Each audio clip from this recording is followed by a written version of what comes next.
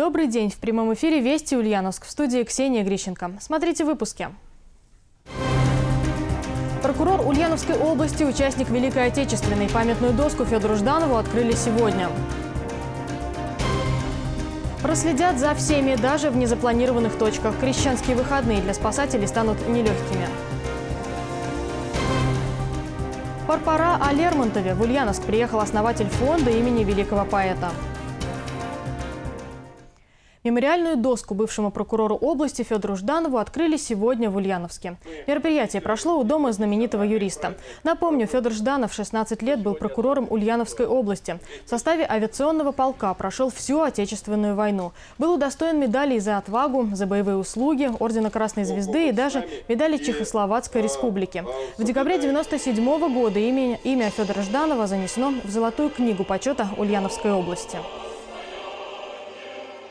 Уважаемые коллеги, уважаемые друзья, мы сегодня вместе с вами сделали очень большое, очень доброе, очень хорошее и ответственное дело. Мы увековечили память не только достойного человека, мы увековечили память солдата Великой Отечественной войны, мы увековечили память прокурора Ульяновской области. Спасибо. В торжественной церемонии принял участие сын знаменитого юриста, а также представители Ульяновской прокуратуры. Идем на восток. Ульяновский регион активизировал работу с инвесторами из Китая. Перспективы такого сотрудничества журналистам озвучил Александр Смекалин. В активной стадии переговоры с тремя десятками компаний из Поднебесной. Уже в первой половине этого года с тремя инвесторами официально скрепят партнерские отношения. Региональные власти подчеркивают, ни одна зарубежная компания от реализации своих инвестиционных планов на территории Ульяновска не отказалась. Однако переговоры с европейскими партнерами замедлились. Стабильный деловой климат в регионе поддержит дополнительное финансирование, отмечает Александр Смекалин.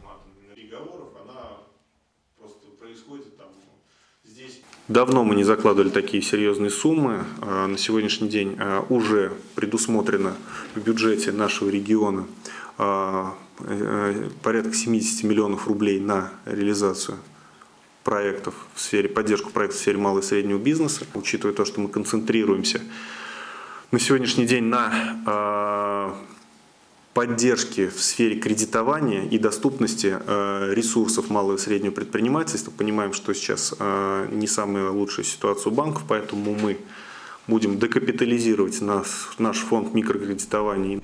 Учтут и софинансирование федерального центра. Всего на поддержку регионального бизнеса в 2015-м выделили полмиллиарда рублей. В минувшем году в регионе заключили 12 крупных инвестиционных соглашений. В партнерах компании из России, Турции, Японии и Китая. В эксплуатацию ввели 15 новых предприятий, а вместе с ними полторы тысячи рабочих мест.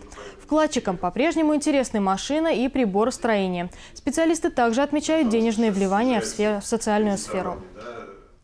В ночь с 18 на 19 января православные христиане празднуют крещение Господне.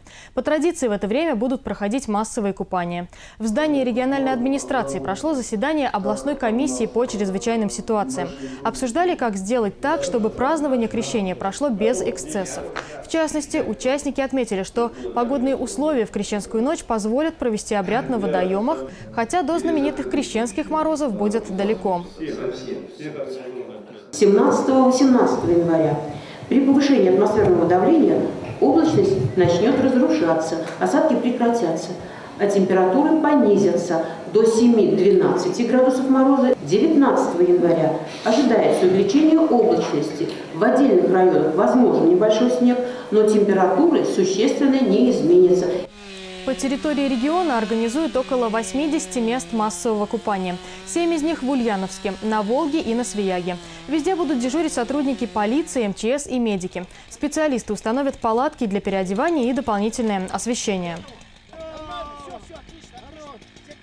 Хочу муниципалитеты э, акцент, чтобы на что сделали. Посылайте машину, машина должна быть обязательно с отопительными приборами. Вы знаете, что температура для оказания медицинской помощи внутри автомобиля должна быть не ниже 18 градусов, иначе вы нарушаете все лицензионные требования. Плюс должны быть какие-то средства согревания. Поговорили и о том, что могут появиться и неофициальные или несогласованные с властями места купания. Их нельзя упускать из вида, чтобы обеспечить безопасность граждан, которые по каким-либо причинам решат их посетить. В целом же в регионе ожидают до 40 тысяч желающих окунуться в прорубях. Толщина льда на водоемах на сегодня составляет не менее 20 сантиметров, что соответствует норме. Около сотни ДТП произошло в регионе за минувшие сутки. Два человека получили травмы. Больше тысячи нарушений правил дорожного движения зафиксировали госавтоинспекторы. Наталья Валуйская с подробностями. 15 января в 23 часа в Ульяновске на улице Камышинская, 35, по предварительной информации водитель автомобиля ВАЗ-21099 совершил наезд на пешехода, который переходил проезжую часть дороги в неустановленном месте. В результате дорожно-транспортного происшествия пешеход мужчина 1966 года рождения госпитализирован.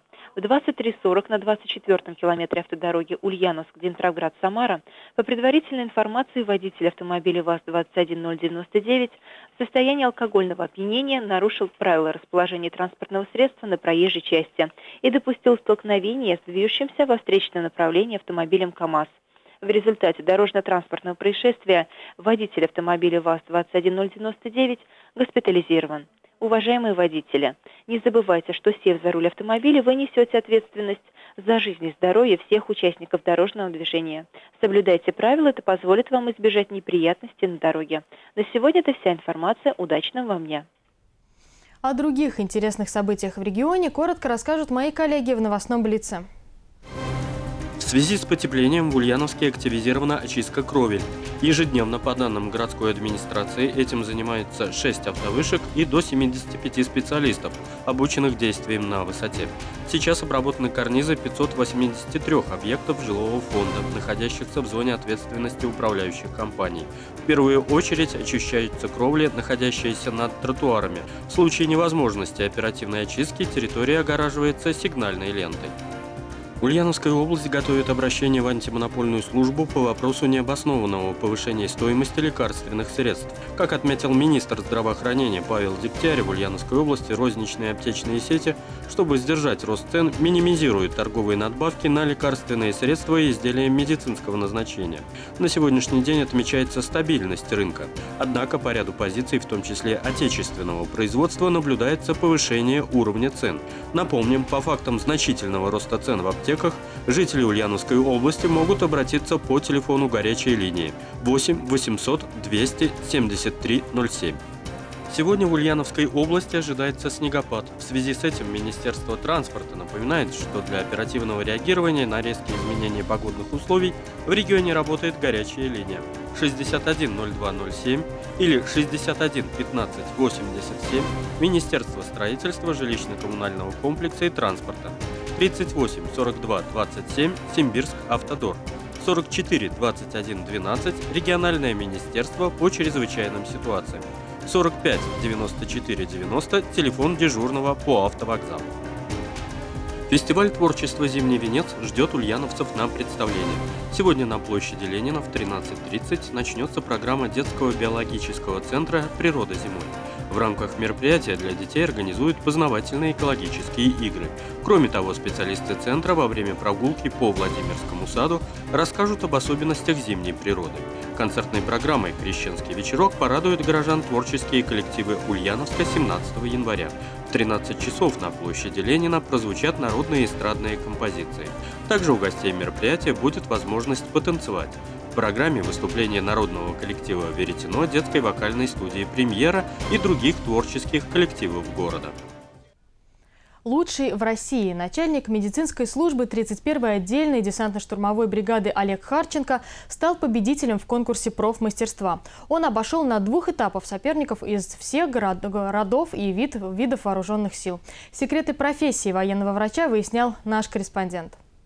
Рустам, как чувствуешь себя? Лучше намного. Намного? Точно.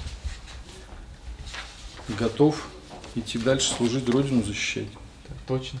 Опытный врач, строгий начальник и отличный товарищ. Именно так отзываются о подполковнике медицинской службы Олеге Харченко, сослуживцы и друзья. Такое отношение – повод для гордости. Он у нас э, человек очень строгий, но справедливый. Э, в коллективе всегда придет на помощь и э, хороший друг. В мирное время медицинская рота оказывает первую врачебную помощь. Но прежде всего это подразделение боевого обеспечения, и это его главное отличие от гражданской медицины. Все работники этого подразделения обучены для оказания помощи при ведении боевых действий, выполнении учебно-боевых задач. Это хирурги, терапевты, анестезиологи, то есть именно те специалисты, которые необходимы для оказания первой помощи, в том числе и в полевых условиях. Всегда быть, так скажем, в готовности в любое время дня и ночи ну, в любых условиях ну, находиться рядом. Но это на службе, а на гражданке подполковник Харченко – любитель погонять шайбу. Хоккей – любимый вид спорта с детства. Ну и, конечно, все свободное время Олег отдает семье. В его жизни после службы в десантных войсках это самое главное. Семья. У меня замечательная супруга, там дети вообще великолепные. Сыну 12, дочери 2 года. Дочь у меня прям просто чудо. Конечно, награда повод для гордости, улыбается Олег Харченко. Но для дальнейших свершений меня в первую очередь мотивирует мой коллектив. И, конечно, служба в десанте, говорит он. Мария Пугачева, Дамир Губеев, Вести, Ульяновск.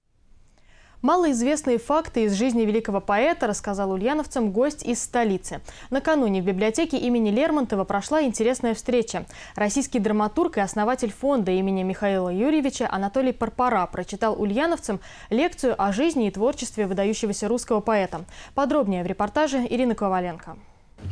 Он начал сразу как власть имущий. Так Анатолий Парпара назвал свою лекцию о Лермонтове.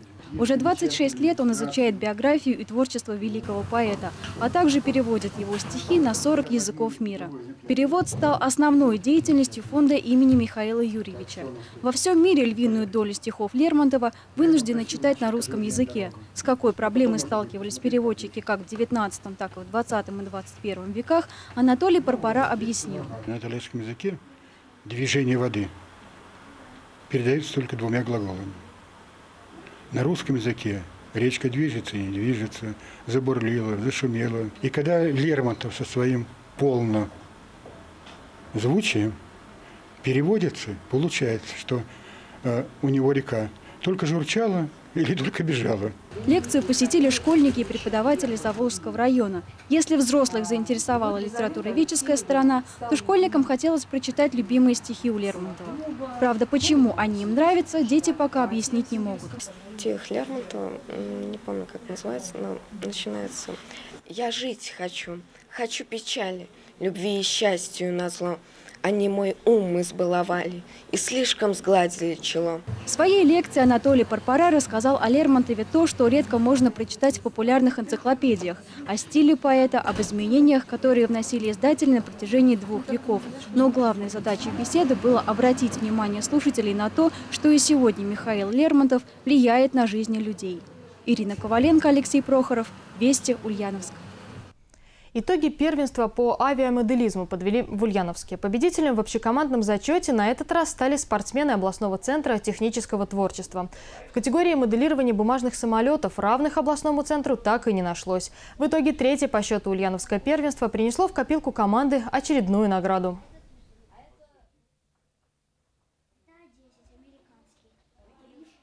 В соревнованиях Red Bull Piper Wings э, в Цюрихе э, чемпион мира – изготовил модель на глазах у судей с листа бумаги и запустил, э, э, значит, э, рекорд 62 метра. Представьте себе, запустить модель, значит, и этот рекорд еще не побит. Поэтому правильная регулировка, правильно изготовленная модель – это успех.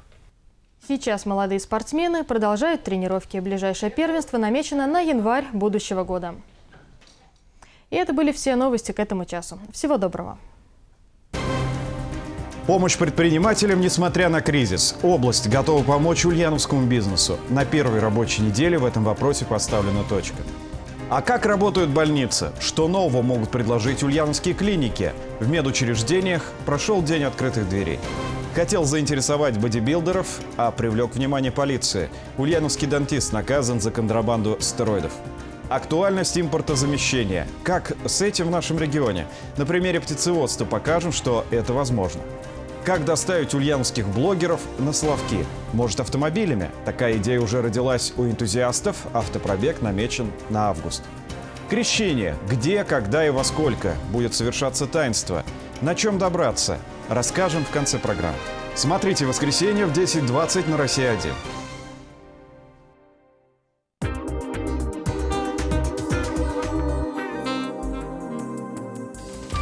Сейчас в Ульяновске около ноля. Атмосферное давление 749 миллиметров ртутного столба.